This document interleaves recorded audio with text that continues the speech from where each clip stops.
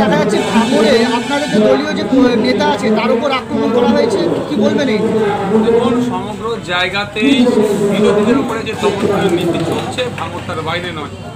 আপনারা জানেন, বিভিন্ন সময় বিভিন্নভাবে মারধর করার পরও যখন আইএসএফ কর্মীদেরকে রুখতে পারছে না, পুলিশকে দিয়ে ফেক কেস দেওয়ার পর রুখতে পারছে না এখন প্রকাশ্যে আমাদের কর্মীদেরকে, তারা দায়িত্বশীল যারা আছে, তাদেরকে ধরে মেশিন থেকে পিস্তল দেখিয়ে এই এলাকায় তৃণমূলের এলাকা এলাকা তৃণমূলের এলাকা, এই এলাকায় আসলে এই এলাকায় আসলে মারা চলতে এই ধরনের ভয় দেখাচ্ছে।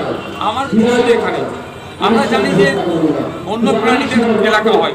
তৃণমূলে আজকে যে তৃণমূলের এলাকা হচ্ছে এরা কি স্টেডিয়াম কোম্পানির মতো এই সিমান্টটা নিয়ে রেখেছে মমতা ব্যানার্জির কাছে? এরা কি এদের সাম্রাজ্যটা একটা যে এখানে তোলা তুলে এদের সংসার চলে তোলা তুলে এদের দল চালায় সে জায়গাটাতে আমরা যখনই গণতান্ত্রিক প্রক্রিয়ায় আসতে চলেছি, সেটা সেই জন্য তারা এটাকে আমাদের কর্মীদের উপর এই ধরনের দমন করে নিতে আমার চেষ্টা করেছে। তবে আমাদের কর্মীরা এই মার্ডারের ভয়কে উপেক্ষা করে মানুষের পাশে আছে মানুষের অধিকার নিয়ে আগামী পঞ্চায়েতে ঝাঁপিয়ে পড়বে গণতান্ত্রিক প্রক্রিয়ায় ভাঙড় সহ রাজ্যের বিভিন্ন জায়গায় তৃণমূল মুক্ত অর্থাৎ দুর্নীতি মুক্ত পঞ্চায়েত গড়ে তুলবে এবং সেটা জনগণের পঞ্চায়েত হবে।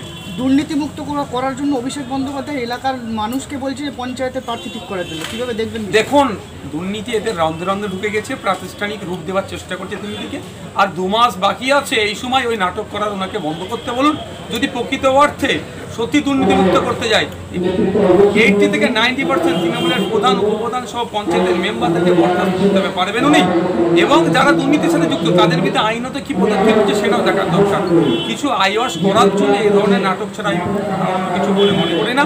তবে বাংলার মানুষ প্রস্তুত আছে, আগামী দিনে এদেরকে গণতান্ত্রিক প্রক্রিয়া জবাব দেবে।